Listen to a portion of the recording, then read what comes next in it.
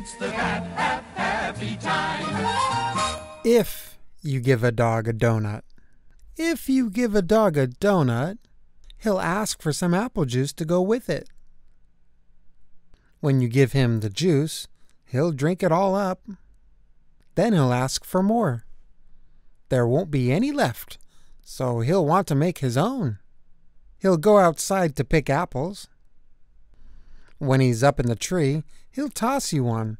Throwing the apple will make him think of baseball. He'll want to play. You'll have to get a ball and a glove. Of course, he'll also need a bat.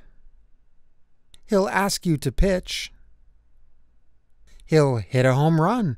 Then he'll do a happy dance to celebrate. Dancing will make him hot and dusty, so he'll need some water. He'll probably start a water fight. You'll have to dry him off with your bandana. He'll wrap it around his head and pretend he's a pirate. Then he'll want to go on a treasure hunt. He'll find an old kite and want to make one himself. You'll have to get him some sticks, paper, and string. When the kite is finished, he'll want to fly it.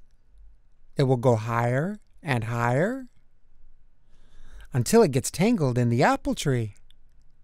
The tree will remind him of apple juice, so he'll probably ask you for some. And chances are, if he asks for some apple juice, he'll want a donut to go with it.